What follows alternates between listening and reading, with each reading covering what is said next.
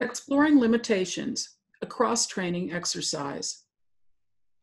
It isn't going to be any surprise that in determining where to set limitations, the first thing you could consider doing is clearing out the studio. Inventory what you've got on hand. This may be daunting, but you can cut a deal with yourself to get the process started with these ideas. Part one, explore the options. Vow to fill at least one bag with items you no longer need and give it to a friend, a secondhand store, or offer it online. Vow to do this every week for a month until everything you want to release is gone. Or organize one area of the studio at a time, whatever that means. Recently, I called my sister and she was furiously emptying out the kitchen junk drawer.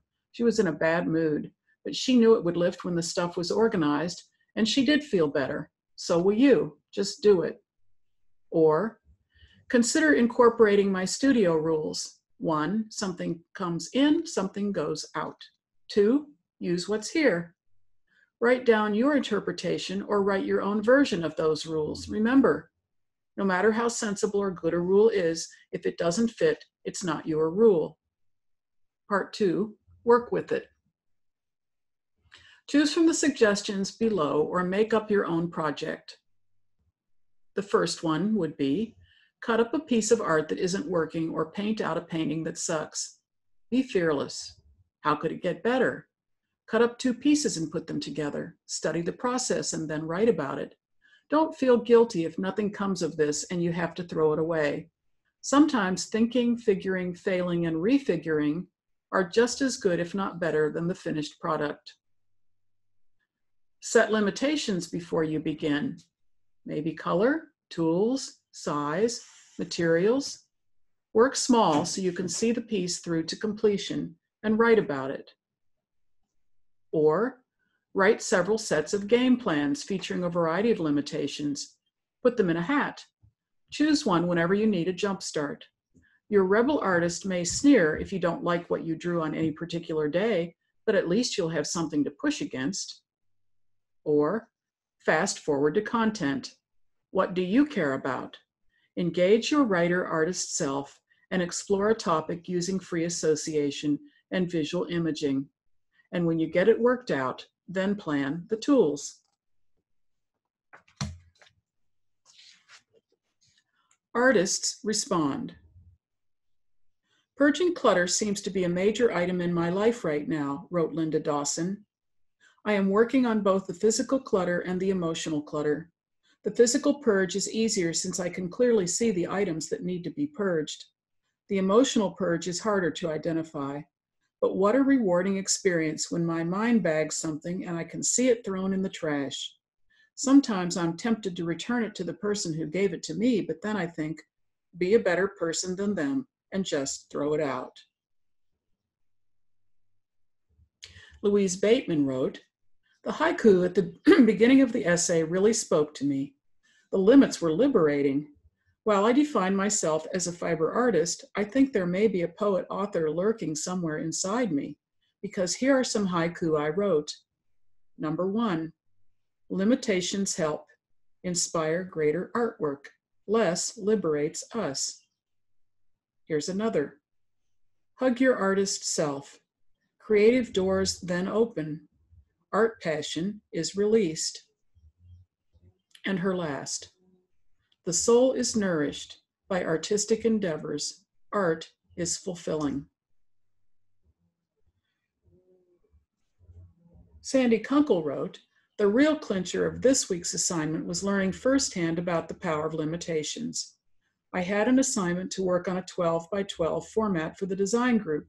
The size was my first limitation. I've probably never done anything smaller than three feet by three feet. Color and value were according to the assignment, the next limitation, and I added a third. Use only materials I had on hand. I used a piece of inkAID coated gauze that was already printed. I liked it, but I hadn't found a way to integrate it into a larger piece. I played instinctively with the gauze and created a piece that I think had just the right bit of mystery. The power of limitations came to mind again today after I sat in a poorly run meeting that started late and ran 45 minutes over the stated ending time. My volunteer work is important, but my time in the studio is more important. Certainly, the reaction to this morning would have been the same with or without strength training, but illuminating my situation and my reaction to it with the power of limitations gives me the courage and permission to make a positive decision for myself.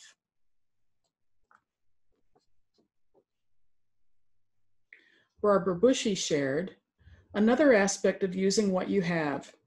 I resisted the urge to go out and take more photos of corn stalks poking through the snow because I always have a hundred, and I got to work on a study so that I could actually make a quilt.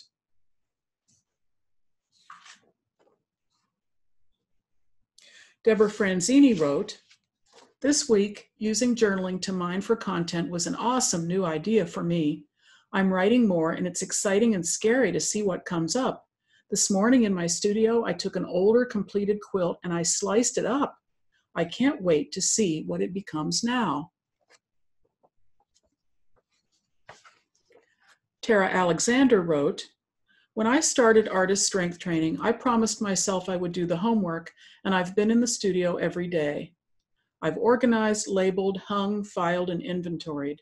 Last weekend after dawdling, I realized this was not the kind of studio time Jane was talking about, and I was seriously procrastinating. And I wrote this haiku Distracting myself, avoiding art by planning, I am so busted. Bottom line, I'm afraid to make art because I don't want to make bad art. Organizing let me hide behind the noble pretense of working. I needed to stop and just get on to the work. Hand painting has always been my favorite technique, and I rediscovered the meditative feeling I get when I paint on textiles. So I'm trying to be gentle with myself. Here's another haiku Fearing art mistakes, I let the process unfold. No ugly babies. Tara Alexander. Lori Paolini wrote, after spending last week crippled with self doubt, this lesson was just what I needed. I'm not fond of the term aha moment, but that's exactly what it was. I started to work, immediately setting limits. I would use some gelatin print backgrounds I was afraid to touch for fear of ruining photos I've been taking of birds at the feeder. I would monoprint and gelatin print and only use the materials I had on hand. Real life called, and only tonight did I get back to the project. Because what I was working on was so specific, I knew immediately what to do to get started again. Getting back into it was easy. This could have turned into another abandoned effort.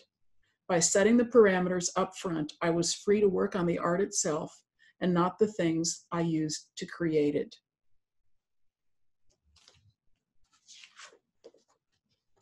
Conclusion. I would like to close this chapter with this thought for your consideration. Be mindful of collecting quotes that are inspirational but not instructive. I benefit more from substance. I need a direct assignment, something real to work with. Some inspirational phrases sound great, but they don't tell us very much. For example, somebody shared this with me. If you treat problems as possibilities, life will start to dance with you in the most amazing ways. Hmm. I suppose it's inspiring, but what does it mean? How do you turn that concept into a practical application so that you can use the real time idea in your real, very limited studio space? One angle might be to analyze a phrase like that, sentence by sentence, which allows you to pick it apart and figure out what it really means, see where your thoughts go. Writing about that quote led me to this translation. If I treat problems as possibilities, I won't quit working just because I am discouraged. I'll keep going and I'll feel good about not stopping. I might actually even have a breakthrough. It could come from working, or maybe it could be serendipity. Either way, I'll be floating on air, pumped with ideas when I leave the studio at the end of the session. Life will feel good and amazing, and I'll feel like dancing. We should all feel like dancing occasionally.